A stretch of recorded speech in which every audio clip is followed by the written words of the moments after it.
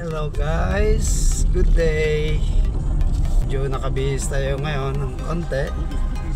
At ako'y may importanteng lakad ngayon. Tumawag sa akin na isang job opportunity sa isang sikat na sushi bar. Okay ba? At papasaba ako at magugustuhan ko ba doon? Ang kanilang offer or magkakasundo ba kami? So, tingnan natin. Check it out. On the way na po tayo sa ating lakad. Sa pupuntahan. At medyo maganda ang weather at maganda ang takbo ng biyahe. Hindi masyadong ma-traffic. Flowing lang ang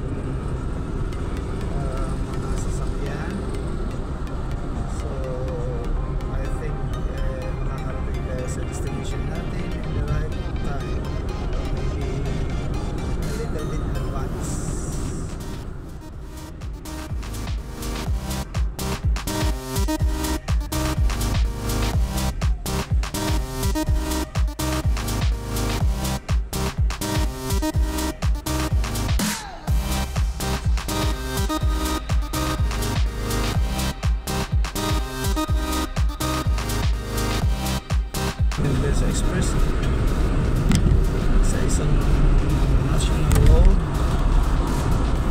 na mas uh, sa lahat. At eh, medyo maluwag ang biyahe.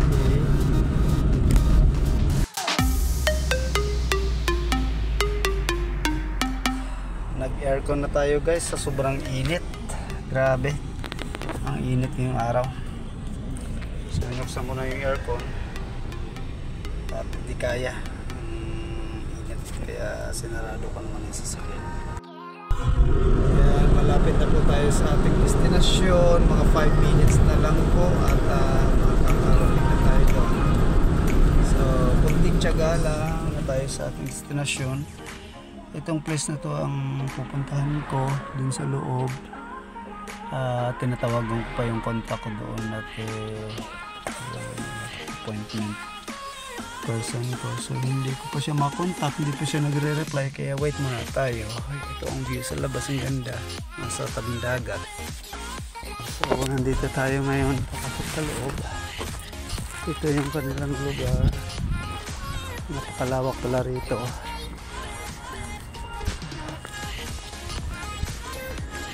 Napakalawak pala.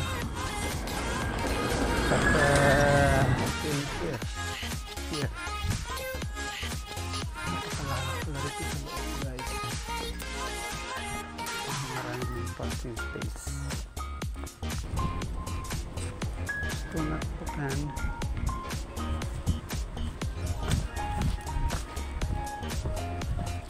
Here's the place over here. Mag-explore explore muna tayo rito. Okay lang. At ah, hindi ko alam kung available bang maglakad-lakad dito. Ayan. Yan yung pupuntahan ko. Pangalan ay Massachusetts so it's still closed. Still open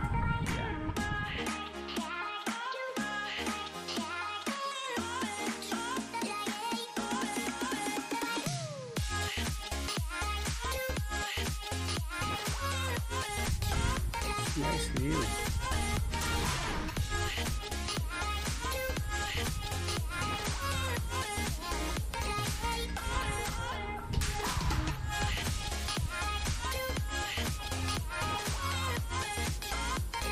Oh, beautiful place.